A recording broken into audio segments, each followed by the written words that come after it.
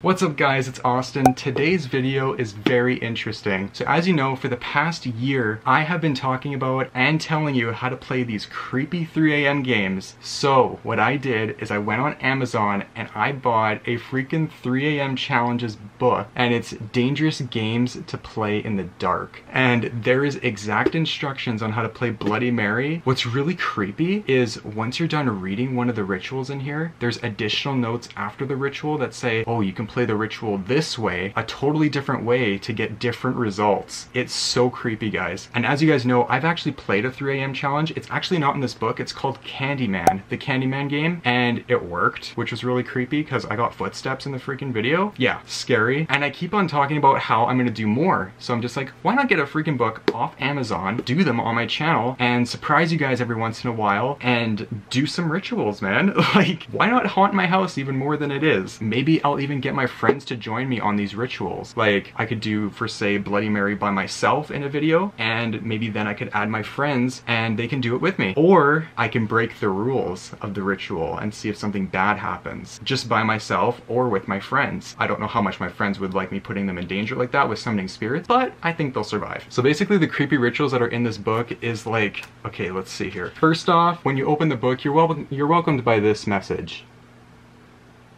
basically telling you to read at your own risk. It says, to those who would seek out the darkness, read at your own risk. This book is so cool. It has like red pages and shit. There's the Black Telephone game, which if you haven't heard of that game, it's basically the Hooded Man ritual. Basically what it tells you is this black, it's this black telephone game where you have a rotary phone. If you don't know what that is, I'll put a picture like right here. You basically call a series of different numbers. You have four rooms set up and you can either do it that way and call these random numbers or in the additional notes after you're done that part of the ritual, you could either do that or the Hooded Man ritual where you call call a ghost taxi, and that would be otherwise known as the Hooded Man Ritual, which I also have talked about on my channel. This is scary, guys. There's the Answer Man, the Picture Game, Bloody Mary, the Hosting Game, the Closet Game, Closet to Another World. There are so many cool games in this book, and I cannot wait to play them on this channel. I'm so excited. I just wanted to tell you guys this as a special little bonus video for this Tuesday. I hope you guys really enjoyed this video. I tried to make it as exciting as possible. I mean, what's not exciting about summoning spirits, right? I mean, that